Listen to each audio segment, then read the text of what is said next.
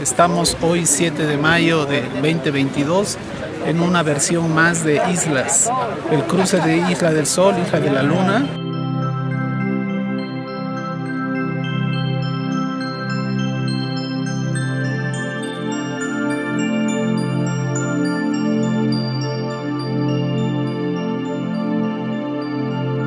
Hoy tenemos una grata visita de varios países, tenemos a la Argentina, tenemos al Ecuador, tenemos a España, tenemos a Bolivia por supuesto. Buenos días, mi nombre es Ochil Ponce, soy mexicana. Es la primera vez que estoy aquí en Bolivia, es, es la primera vez que conozco este impresionante lago. Hola, buen día. Soy José Iruela de Jujuy, Argentina. Eh, venimos a este lugar eh, mítico que realmente nos tiene a todos locos de la alegría y de la emoción en poder hacer esta travesía que, que, bueno, año a año crece. Dentro de unos años va a ser algo mundial seguramente, que ya lo está haciendo.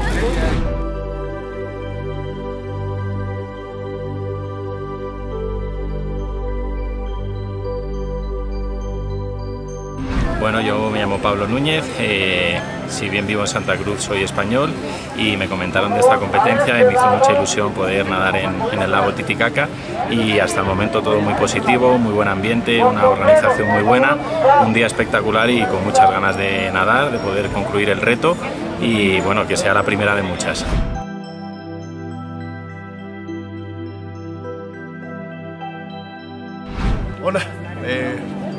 Francisco Javier Aguirre Barros, eh, vengo de Chile y tengo 42 años. Buenos días, aquí estamos eh, a punto de partir, ¿cierto? Este gran desafío de lograr la, la, isla de la luna.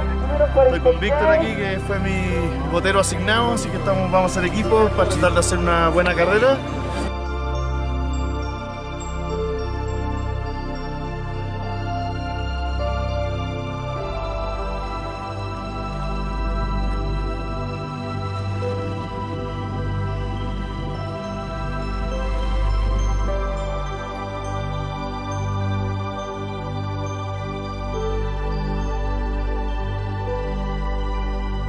¿Cuánto nadaste?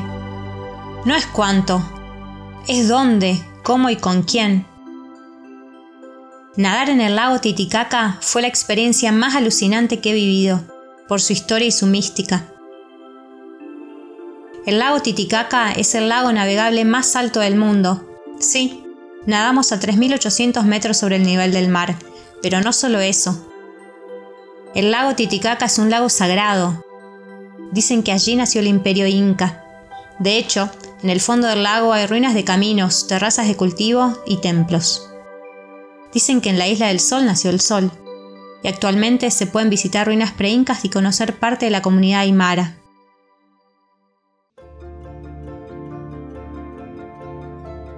Siento el frío del agua, pero también siento lo sagrado del lago. Veo el sol ahí arriba, en un cielo majestuoso. Veo sus rayos atravesando esas aguas verde azuladas, rayos que no tienen fin. Pido abrigo al sol y protección a la Virgen de Copacabana. Siento asfixia que no me deja nadar ni hablar. ¿Qué hago? ¿Floto? ¿Pecho?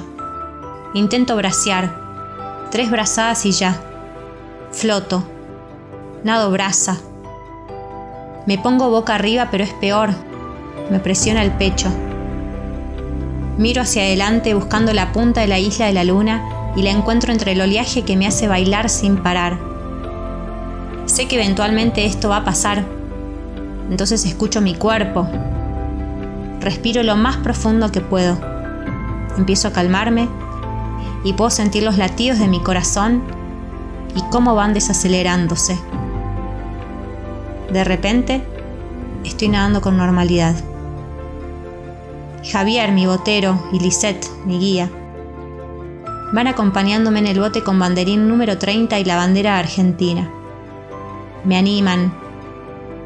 Lisette hace gestos de nado para que no pare. Me avisa cada 40 minutos que me tengo que hidratar. Entre respiraciones, veo cómo busca el gel, lo abre, Lo pone en el vaso y estira su brazo para que yo llegue al palo. Tengo los dedos entumecidos. Hago un esfuerzo para agarrarlo. Ahora la botella de agua. Sigo minado. No puedo estirar ni juntar los dedos. Nado en garra.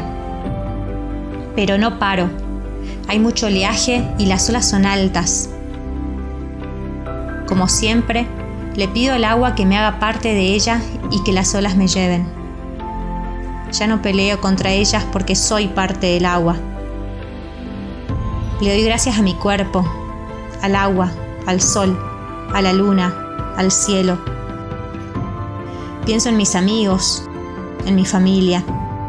Pienso en las ruinas en el fondo del lago. Sigo minado. Veo que Lisette agita una botella energizante, entonces me acerco a agarrarla. Son sorbos tan ricos como un helado de la Real, de mi querida ciudad en Argentina. Sigo nadando. Lisette me grita para darme agua, pero yo no quiero dejar de nadar porque me cuesta acercarme al bote. No le puedo contestar, entonces le agito la mano con un no. Sigo nadando.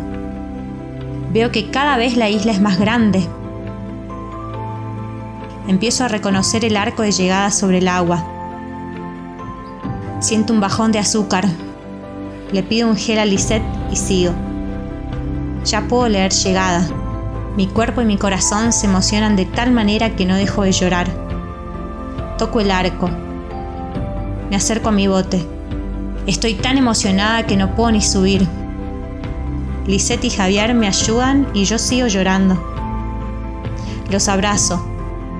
Me llevan al barco madre para encontrarme con todos los nadadores. Mi cuerpo y mi corazón lo hicieron una vez más. Lo logré. Y si todavía quieren saber, fueron siete kilómetros y medio desde la isla del Sol hasta la isla de la Luna.